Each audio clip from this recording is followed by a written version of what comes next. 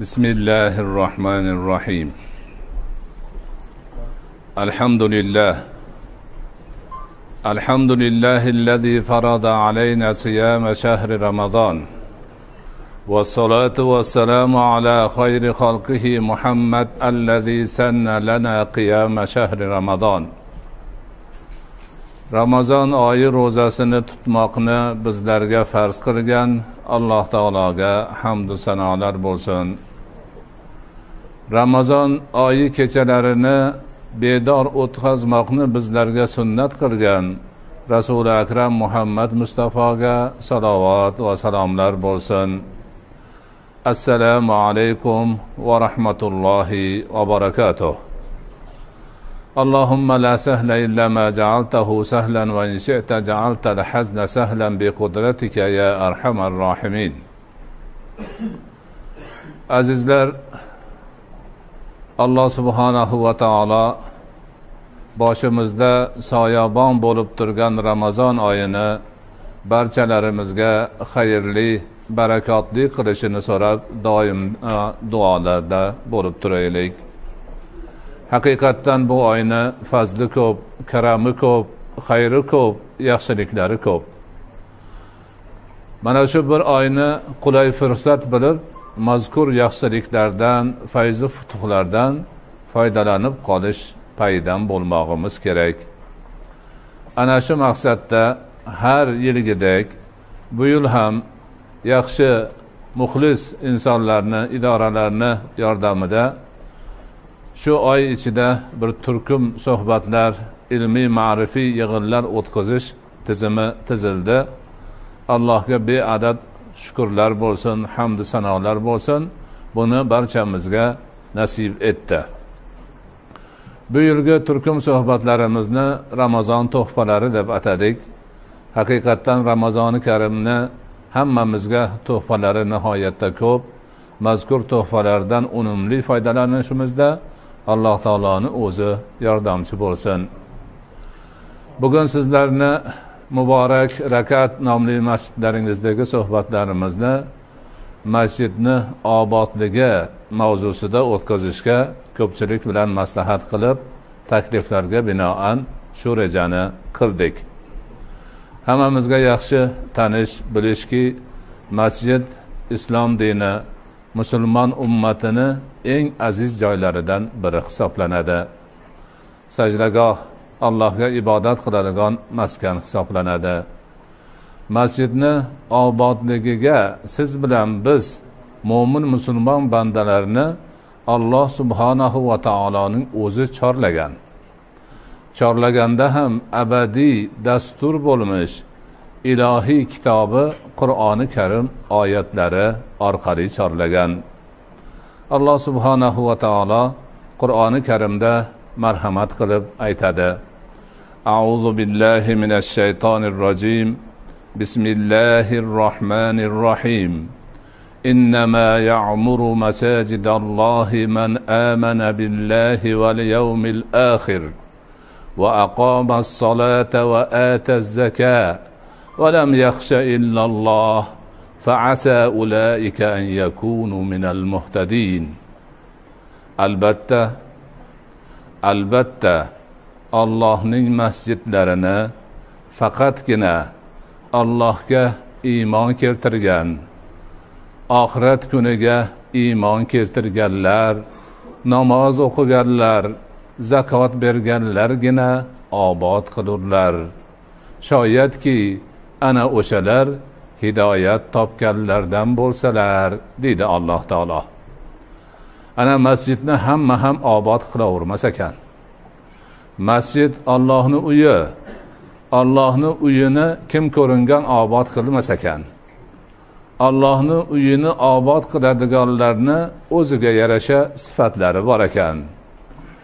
Ana shu sifatlarni ushbu hozirgi o'qilgan tarjima qilingan oyati karimada alloh taoloning o'zi aytib o'tgan. Birinchisi alloh taologa iymoni borlargina masjidni obod qiladi. Ya'ni mo'min banda bo'lishi kerak. Allohga iymoni bor odamgina masjidni obod qiladi. Oxirat kuniga iymoni bor qiyomatga iymoni bor qiyomatda bo'ladigan barcha tafsilotlarga aniq ochiq oydin iymon qilganlargina masjidni obod qiladi. Namoz o'qiganlar zakot berganlar masjidni obod qiladilar. Ana o'sha alloh subhanahu va taologa iymon keltirgan oxirat kuniga iymon keltirgan namozni to'la to'kis ado etib zakot bergan masjidni obod qilganlar shoyatki hidoyat topganlardan bo'lsa. Ana hidoyat topganlardan bo'lish har bir bandani buyuk martabasidir orzu umididir erishgan eng nihoyiy cho'qqisidir. Ana shu e'tibordan masjid obodligi islom dinida mo'min musulmon ummatida nihoyatda ulug'lanadigan bir amal hisoblanadi. Ho'p qur'oni karimda masjid obodligi to'g'risida oyat kelmoqda. Masjidni obod qiluvchi bandalarning sifatlari zikr qilinmoqda. Masjid obod qilish masjidni obodligi degan iboradan nima ko'zlanadi o'zi? Ana buni endi bilishimiz kerak. Hamma ulamolarimiz ittifoq qilib ushbu oyati karimadagi masjid obodligi to'g'risidagi so'zni boshqa oyatlar hadisi shariflar ulamolarni gaplarida masjidni obodligi masjidni obod qilish masjidni obod qiluvchi kabi iboralardan ko'zlangan maqsad ikki qismga bo'linadi. Birinchi qismi moddiy obodlik. Ya'ni masjidni moddiy jihatdan obod qilish. Ikkinchi qismi ma'naviy obodlik. Ya'ni allohni uyi bo'lmiz masjidni ma'naviy jihatdan ham obod qilish kerak bo'ladi. Moddiy jihatdan obod qilish deganda masjid qurish. Masjidning binosini qurish yaxshilab qurish ozoda tutish pokiza qilish ana o'sha masjidlarni go'zal bir tarzda ushlab turish uchun qilinadigan xizmatlarni masjidni moddiy obodonchiligi uchun qilingan xizmat deyiladi. Rasuli akram muhammad mustafa sollallohu alayhi vasallam makkai mukarramada o'n uch yil payg'ambarlik qilgan bo'lsalar birorta masjid qurilmagan. Kabani atrofidagi masjidil harom o'z o'zidan bo'lgan. Lekin hozirgi bizni tushunchamizdagi masjid degan bir bino qurilib poydevori qilib boshqa bo'lib musulmonlar erkin ochiq oydin namoz o'qish imkoniga ega bo'lmaganlar. Alloh subhanahu va taoloni amri bilan u zoti va barakot o'zlarini sahobalari bilan madinai munavvaraga ko'chib o'tib yetib kelganlaridan keyin rasuli akram alayhissalotu vassalomni kutib turgan ansoriy sahobalar bilan qo'shilib insoniyat tarixida birinchi marta qur'on asosida musulmonlar jamoasi to'plandi. Jam bo'ldi. Boshlig'i bor a'zolari bor vatani bor hamma tarafi to'ldi. Ana o'shanda rasuli akram alayhissalotu vassalomning dastlab qilgan ishlaridan biri masjid qurish bo'ldi. Hozirgi kundagi hammamiz ziyorat qilayotgan hojilarimiz umrachilarimiz ziyorat qilib kelayotgan masjidi nabaviy payg'ambar alayhissalotu vassalomni masjidiga o'sha paytda asos solindi. Rasuli akram alayhissalotu vassalom o'zlari bu ishni boshladilar yer egalaridan yerni oldilar odamlarni chorlab o'zlari tosh ko'tarib g'isht ko'tarib ishladilar boshqa sahobalar ham mehnat qilib birinchi masjidni qurdilar. Ana undan keyin qubodagi masjid qurildi. Hozir xatmda qorimiz masjidun ussisa ala taqvo taqvo asosi poydevori asosida qurilgan masjid degan qubo masjidi qurildi. Ana undan keyin asta sekin musulmonlarni diyorlarida masjid qurish ishlari boshlanib sekin sekin bu narsa taraqqiy etib bordi. Bizning aziz vatanimizda ham islom kelib tarqalganidan so'ng bu yerning aholisi islomni go'zal tarzda qabul qilib olib dunyoning eng go'zal musulmon jamoalaridan bir jamoa bo'lganidan keyin juda ko'plab masjidlar qurilgan. Masjid qurilish ishlari asta sekin me'morchilikni durdonasiga aylangan.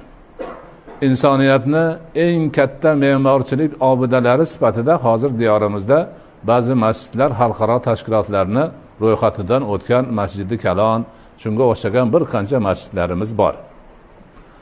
Ammo ming afsuslar bo'lsinkim o'tgan xudosizlar tuzumi vaqtida masjidlarni ko'pi vayron qilindi. Kunpayakun qilindi. G'ishtlarini olib o'zlarini kerakli maqsadlariga ishlatishdi. Ba'zi bir masjidlarni har xil odamlarga bo'lib berishdi. Yoki bo'lmasam qandaydir omborxona va shunga o'xshagan hatto tahoratxona qilib qo'ygan holatlari ham bor edi. Ana o'shanday holatlar bir muncha davom etgandan keyin alloh subhanahu va taolo yana o'zi lutfi karam ko'rsatdi mehr muhabbat ko'rsatdi dinimizga qaytish baxtini muyassar qildi. Ana o'shanda yana masjidlarimiz yangidan qurilish eskilarini ta'mirlash ishlari boshlandi. Hozir saqishmon deb atalgan to'xtaboy masjidi o'sha shishalarni nimasi edi? Omborxonasi edi. Ichimliklarni omborxonasi edi shishasini.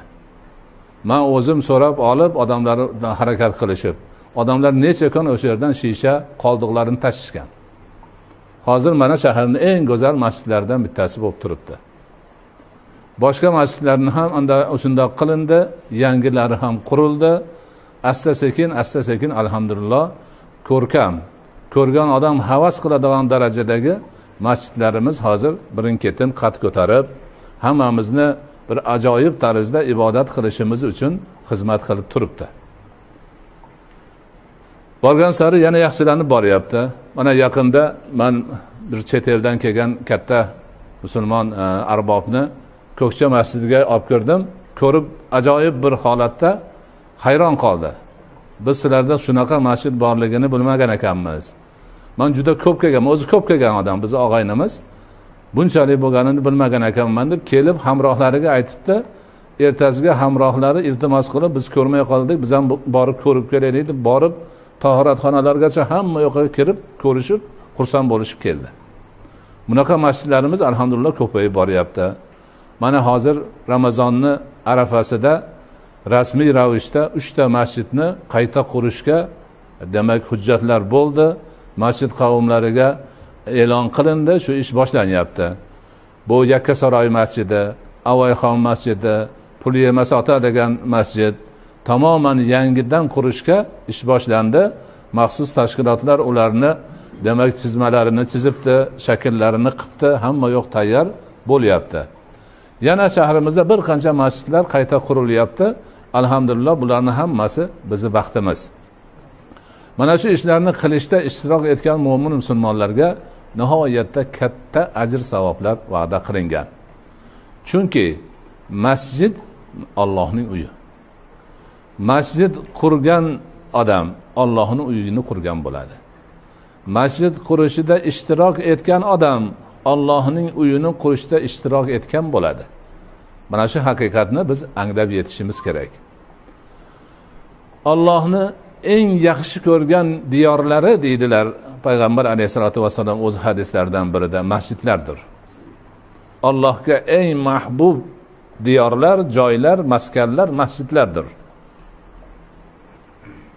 Fuqarolarimiz aytadilarki bir odam qizishib ketdida qandaydir bir janjalni ustida boshqa bo'lib manga bu dunyoda turish haromdir agar tursam falon bo'lay deb qasam ichib yubordi hamma yo'q dunyo. Qanaqa qiladi buni qasamini? Qasamxo'r bo'lmaslik uchun nima qilamiz desa masjidga kirib olsa qasamxo'r bo'lmaydi deydi. Chunki bu dunyodan emas masjid. Ollohni uyi bu. Ana mana shunday darajada buyuk bir maskanlar hisoblanadi masjidlar. Muborak joylar hisoblanadi. Muazzaz joylar hisoblanadi. Rasuli akram alayhissalotu vassalom marhamat qilib aytadilarki man bana lillahi masjidan banallohu lahu baytan fil jannati. Kim olloh uchun bu dunyoda bir masjid qursa olloh uning uchun oxiratda bir uy qurib beradi jannatda. Bir rivoyatda qasr deyilgan qasr qurib beradi. Ulamolarimiz aytadiki shu hadisdagi masjid degani bizni tasavvurimizdagi xonaqolari bor boloxonalari bor katta yarim gektar undan oz ko'p joyni egallagan masjid emas. Bitta odam sajda qiladigan joy bo'lsa ham masjid deyilaveradi deydi. Bir odamni sajdagohi bo'ladigan yetarli joy masjid hisoblanadi. Masjid degani o'zi sajda qiladigan makon degani. Bir odamni sajdasiga yaraydigan joy masjid bo'laveradi. Ana mana shu masjidni qurish uni obod qilish moddiy jihatdan chiroyli qilish pokiza tutish ishlari shu qadar ulug' va muborak savobi ko'p ishlar hisoblanadi. Alhamdulillah sizlarni ishlaringizdan ko'plaringiz mana shunday ishlarga ishtirok qilgansizlar kimlardir bosh bo'lgan kimlardir hujjat qilgan kimlardir pulidan yordam bergan kimdir hunaridan yordam bergan. Mana e, opa singillarimiz ovqat qilib boshqa qilib hammani zarracha hissasi qo'shilib qolsa inshaalloh nihoyatda katta bir ajr savobga sabab bo'ladi. Endi masjidni ma'naviy obodligi bir qismini tugatdik ikkinchi qismi masjidni ma'naviy obodligi masjidni haqiqiy obodligi ma'naviy obodligidir ma'naviy obod nima degani? Demak shu qurilgan masjidda allohga ibodat qilish allohni dinini o'rganish qur'on o'qish zikr qilish va boshqa shu masjidda qiladigan ibodatlarimizni hammasi masjidni ma'naviy obodligi hisoblanadi. Bu narsa o'ta muhim narsa. Masjidni sevgan kishi masjidga bog'liq bo'lgan kishi masjidni doim kelib namozlarini masjidda o'qiydigan kishilarga ajrlar savoblar nihoyatda ko'p. Sevikli payg'ambarimiz muhammad mustafa sollallohu alayhi vasallamning mashhur bir hadislari bor. Sabatun yuzilluhumullohu yawma la zilla illa zilluhu deb boshlanadi haligi hadis. Yetti toifa kishilar bor. Ana shu yetti toifa kishilarni alloh taolo o'zining soyasidan boshqa soya yo'q kunda o'z soyasiga oladir. Bu kun qiyomat kuni. Qiyomat kuni qattiq jazirama bo'ladi. Jaziramada qolganlar kuyib jizg'anak bo'lish xavfi bor. Ana shunda faqat bitta soya bo'ladi. U ham bo'lsa alloh taoloni soyasi. Shu soyaga olloh o'zini soyasiga yetti toifa kishilarni olar ekan. Ya'niki qiyomat kuni najot topadi bular degani bu. Shulardan bittasi rajlun qalbuhu muallaqun bil masajidi. Bir odamiki uni qalbi masjidlarga bog'langandir. Qalbi masjidga bog'langan odam qanaqa desa doim masjidni o'ylaydi. Kech qolmasmikinman? Namozni vaqtida a borishim kerak masjidga deb keladi. Chiqsa yana qaytishini o'ylaydi. Doim besh vaqt namoz o'qiydigan odamni qalbi masjidga bog'liq bo'ladi. Soatini qaraydi ishini rejasini to'g'rilaydi nima qilsa qiladi masjiddagi jamoatdan kech qolmay deb urinadi. Ana o'sha odamni alloh taolo qiyomat kunida o'zining soyasidan boshqa soya yo'q kunda o'z soyasiga olar ekan rahm qilar ekan shafqat qilar ekan. U sabab nima? Sabab haligi. U odamni qalbi masjidga bog'liq turgan. Doimo shu demak masjidga bog'liq bo'lib jamoat namozlariga qatnab o'qib allohni zikrini qilib qur'onni tilovatini qilib va boshqa savobli ishlarni qilib yurgan insonlar hisoblanadi. Ana mana shu haqiqatlarni ham biz yaxshi o'ylab ollohni bergan ne'matlariga shukur qilishimiz. Ba'zi bir esidan chiqib qolgan odamlarga tushuntirib ularni ham mana shu baxtdan muyassar bo'lib hissador bo'lishlari uchun chorlashib jamoatga qatnashishlari odobli axloqli bo'lishlari har xil bo'lmag'ir holatlardan chetlanishlarini alloh taolo nasib qilgan bo'lsin. Ko'pchilikni qalbini demak masjidga bog'lasin ajr savobdan bahramand qilsin. Masjidlarni yana fazilatlaridan ko'pi ayniqsa ramazoni sharifda ayon bo'ladi. Ramazoni sharifdagi xatmi qur'onlar ayniqsa nihoyatda katta baxt saodatlar hisoblanadi.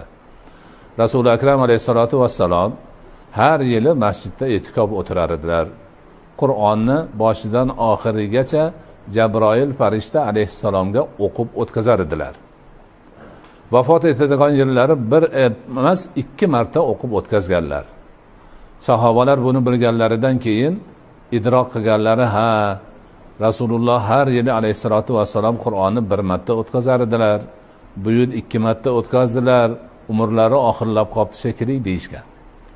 Haqiqatdan yanagi ramazon kelguncha u zoti babarakot bu dunyodan rehlat qilganlar. Rasuli akram alayhissalotu vassalomni davrlarida bugungi siz bilan bizga o'xshab taroveh o'qish yo'q edi. Ko'pchilik o'zi o'qigan. Rasuli akram alayhissalotu vassalom ham o'zlari o'qiganlar qur'onni o'shanda o'qiganlar. Sahobalar ba'zi vaqtlarda kelib iqtido qilishgan keyin juda ko'payib ko'chalargacha odamlar chiqib ketgandan keyin chiqmay qo'yganlar. Man buni chiqaversam vojib yoki farz bo'lib qolsa ummatimga qiyin bo'ladi deganlar. Rasuli akram alayhissalotu vassalomdan keyin hazrati umar roziyallohu anhuning davrlarida odamlarni o'tib ketayotib ramazon kuni qarasalar ramazon iftordan keyin kimdir birov bilan gaplashib o'tiribdi masjidda kimdir o'zicha qiroat qilyapti kimdir nafl namoz o'qiyapti har kim har xil.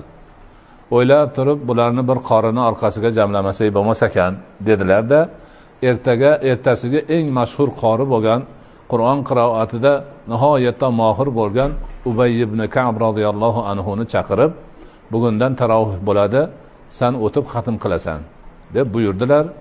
Masjidlarni tozalatdilar chiroqlarni fonuslarni yoqtirdilar odamlarni tayyorladilar va jamoatni to'plab ubay ibn kab roziyallohu anhu mana shu taroveh namozida hozirgiga o'xshatib demak xatm qilishni boshladilar. Ana o'sha ishni hozir alhamdulillah siz bilan bizga mana shu nasib etyapti. Buni ham aytar ekanmiz avvalgi aytganidek yoshlar bilib qo'yishi uchun haqiqatni aytib qo'yishimiz kerak bo'ladi. Bundan o'ttiz yil avval undan ko'proq yil avvallari xatm degan narsa bizda yo'q edi. Ozgina sonli masjidlar bor edi.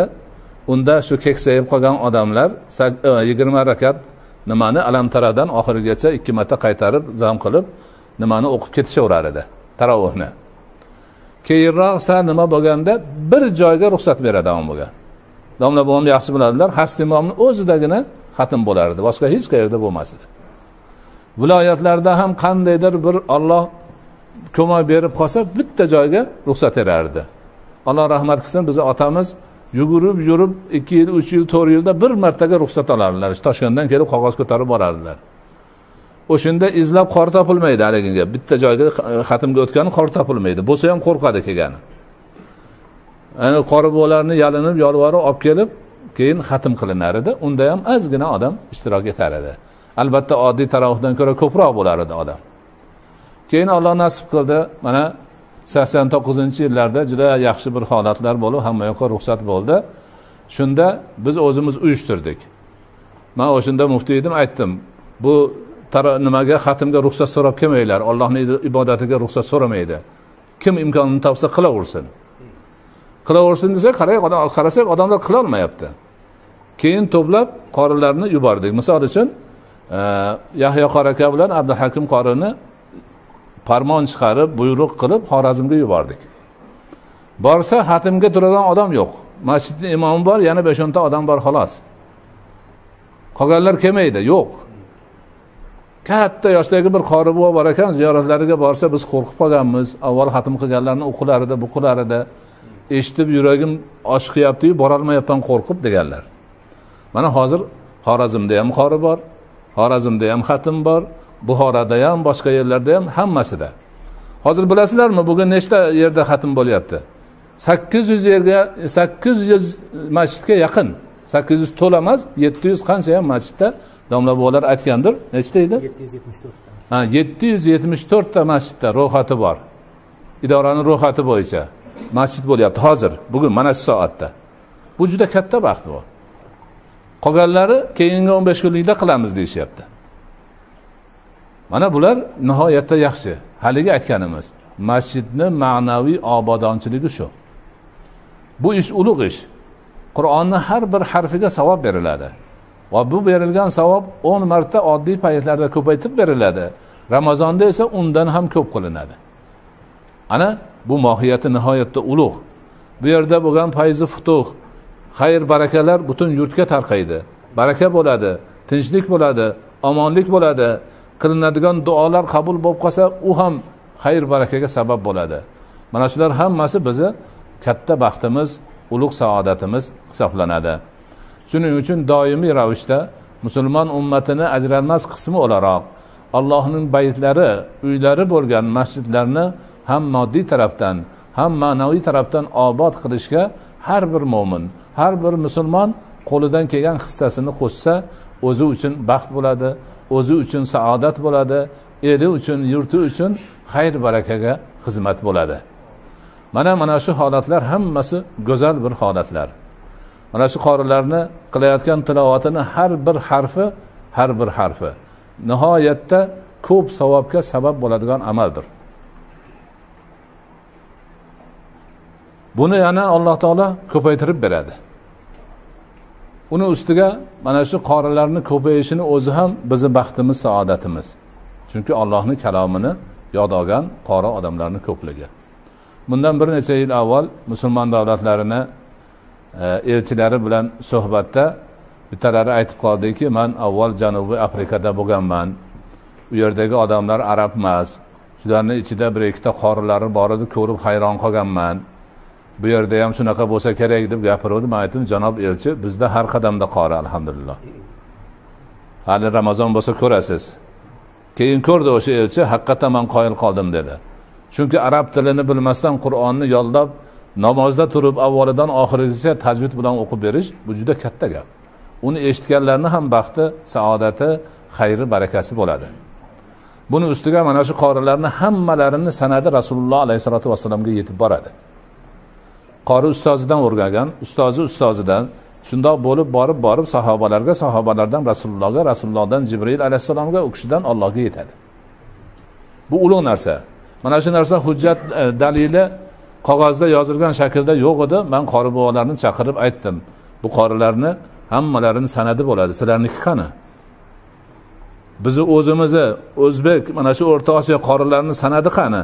E, ustozlarimizda bor edi. Bo'lmasa iltimos qaranglar topinglar. Xudo rahmat qilsin abdulboqi qori buva degan qari qori buva bor edi. Shu kishi qayerdandir topib keldilar.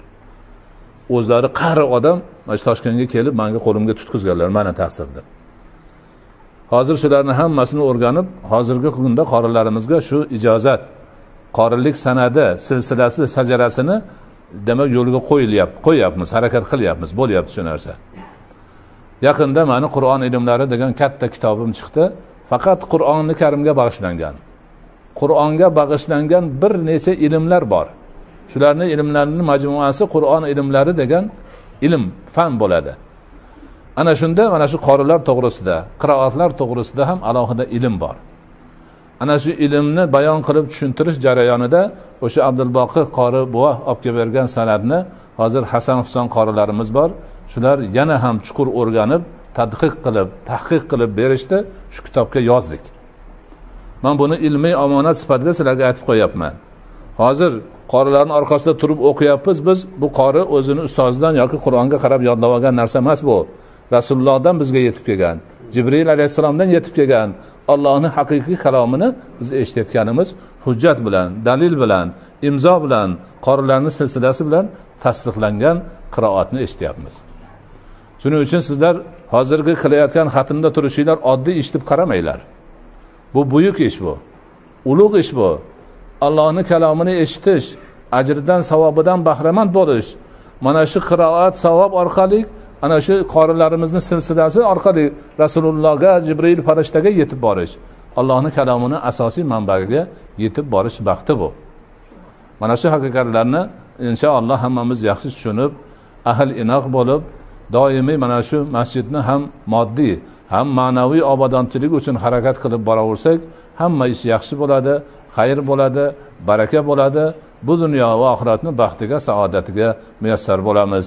Bismillahi rohmanir rohim alloh biz ojiz bandalaring o'zingni ulug' oyingda o'zingni uylaringdan bir uy bo'lmish ushbu rakat masjidida xatmi qur'on qilaroq bir ma'rifiy suhbat uyushtirdik.